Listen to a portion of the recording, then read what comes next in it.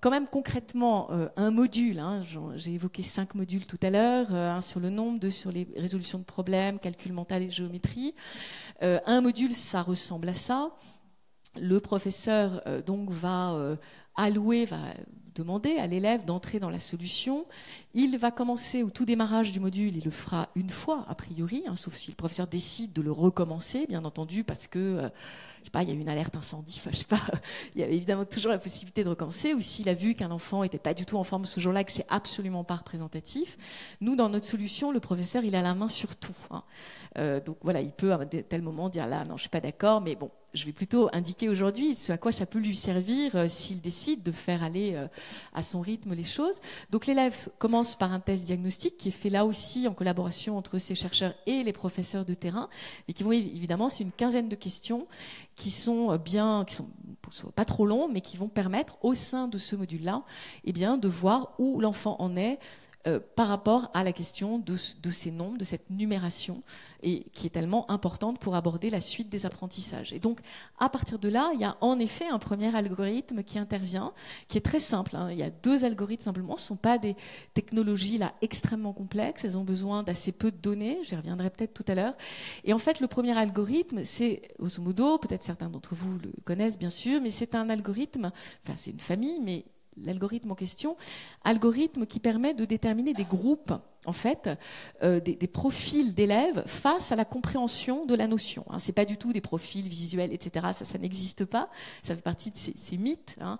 Finalement, c'est pas ça qui intéresse ici. L'intérêt, c'est de savoir quels sont les élèves, par exemple, qui maîtrisent bien la notion, mais qui ont répondu lentement. Ça peut être des, groupes hein, qui ont ce type de signification, euh, ou qui, euh, dans ce, dans ce par rapport à ce test diagnostic, maîtrisent euh, finalement euh, jusqu'à tel point euh, la notion de numération, mais qui ont besoin encore d'être renforcés sur tel point. Donc ces groupes-là permettent à un enfant, même s'il travaille tout seul dans la solution, d'être, parce que l'algorithme, bien sûr, a été entraîné auparavant, donc il va appartenir, même s'il travaille seul, même s'il y a un seul ordinateur dans la classe, il appartiendra à un groupe, ce qu'on appelle dans le jargon de l'IA un cluster, mais un groupe, mais effectivement, quand toute une classe travaille, ça permet aussi au professeur de voir dans les élèves de sa classe, parmi les élèves de sa classe, quels sont finalement les groupes un petit peu homogènes face à la compréhension d'une notion. Après, on en reparlera, mais il peut prendre les décisions qu'il veut. Il peut très bien décider de les mélanger, de les laisser ensemble. Ça, c'est un autre sujet. La solution, elle, permet euh, de faire ces adaptations, mais ne décide pas, là pour le coup, à la place du professeur, mais il y a bien un double sens finalement du mot groupe. Mais le clustering en tant que tel, euh, c'est un enfant qui va se trouver dans un groupe face à justement euh, la, compréhension de la notion. Bien sûr, qui paramètre euh, Ce sont des humains, hein, c'est clair, et en l'occurrence, toujours ce binôme de chercheurs et de professeurs. Donc, qu'est-ce que ça fait, ce clustering? Ça va donner un point de départ à l'enfant ou aux enfants qui appartiennent euh, à un même groupe, finalement, dans la banque de ressources, cette banque de ressources que j'ai évoquée euh, en termes de contenu euh, tout de suite. Ce, qui est représenté, les ronds, ce sont des types d'activités à chaque fois. enfin, les, colonnes sont des types d'activités et les, différents ronds dans une même colonne sont des niveaux Hein, donc c'est une banque de ressources, la commande du ministère c'était une banque de ressources cycle 2. Donc il peut y avoir par exemple un, point en bas qui correspond à une activité plutôt sur la numération qui sera peut-être abordée plutôt en CE2. Tout ça sera bien clair pour les enseignants et l'enseignant pourra très bien décider qu'il bloque finalement euh, un certain nombre de ressources s'il ne souhaite pas par exemple que l'enfant même doué, on va dire avec des guillemets, euh, pourrait aller plus loin. Hein. Là encore, euh, il y a toute l'attitude. Donc voilà ce que ça représente. Donc, le, premier algorithme va donner un point de départ dans la banque de ressources. Et par exemple, là, vous avez un autre élève. Lui, il aura un autre point de départ, mais peut-être que certains élèves démarreront à la troisième colonne, au troisième type d'activité, parce qu'eux, ils en sont déjà là. Alors, qu'est-ce qui se passe ensuite? Euh, Dans cette banque de ressources que j'ai décrite, avec cette organisation assez souple, certes, mais préalable quand même. Hein, c'est pas organisé n'importe comment. Le rôle de l'IA, justement, du deuxième algorithme, c'est d'aller euh, perturber un petit peu le jeu. Hein. C'est-à-dire que ce qui a été programmé par euh, les chercheurs et les profs, hein, on fait tous des programmes, des séquences, on a tous des prévisions. Euh, finalement, comme ça, quand on prépare un cours ou une séance de, une série de cours, et finalement, ça l'IA va peut-être perturber ça. entre parenthèses, c'est bien pour ça d'ailleurs que ces chercheurs euh, ont envie de travailler avec nous parce que eux, ça les intéresse grandement d'avoir des retours de données sur les parcours qui sont réellement faits et de voir le décalage avec leurs éventuelles hypothèses.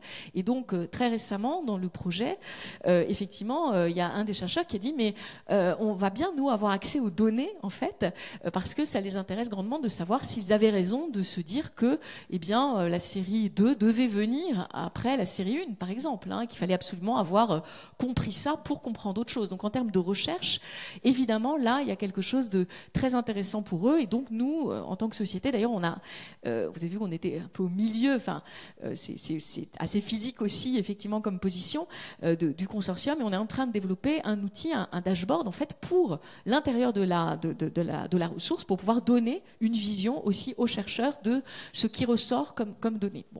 Donc, effectivement, à l'intérieur de cette banque de ressources, chaque enfant même appartenant à un même groupe de départ, va recevoir la suite d'exercices précises dont lui a besoin pour continuer.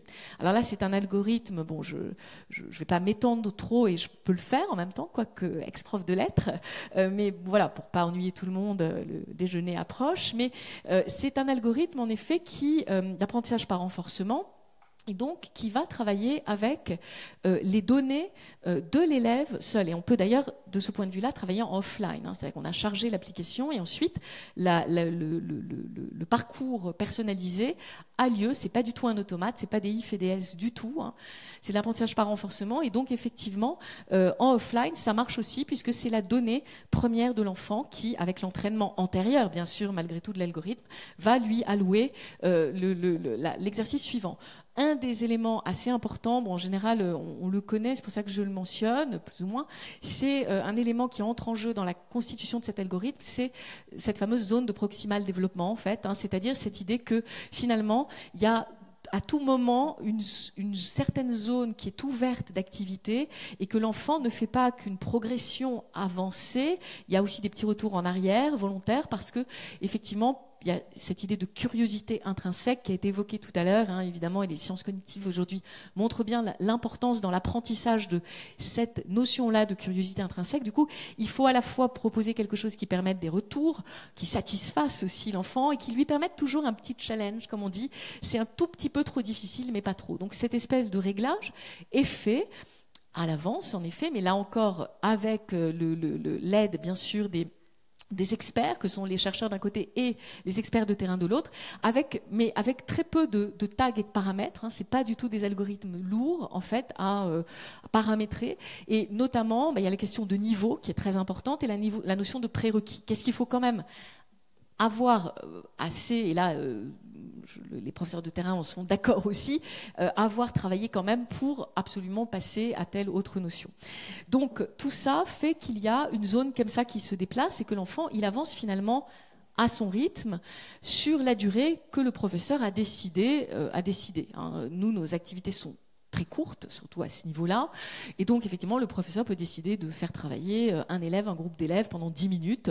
Et effectivement, pendant ces 10 minutes-là, hein, c'est vraiment des...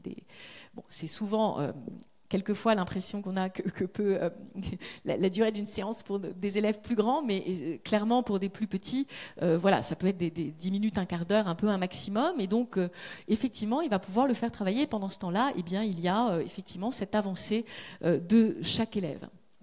Alors, il y a aussi, quand le professeur le décide, il se dit là, voilà, je pense que l'élève là a à peu près terminé ce que le module lui permettait de travailler, il peut déclencher un test de vérification des acquis qui n'est absolument pas une évaluation, qui n'est pas là pour euh, déclencher, euh, se mettre à notre place, etc. Pas du tout, mais c'est par rapport à ce qui était traité là, ben, finalement, où en est l'enfant, et notamment, ça permet de savoir quels sont ses progrès hein, par rapport à la notion, par rapport au début.